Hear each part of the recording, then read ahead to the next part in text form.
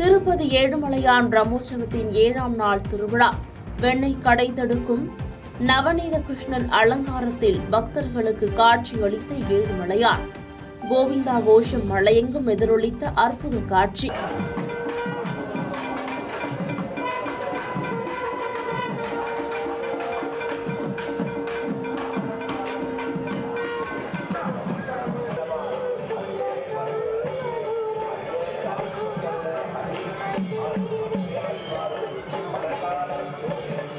பாதகம் செய்பவரை கண்டால் நாம் பயங்கொள்ளலாகாது பாப்பா.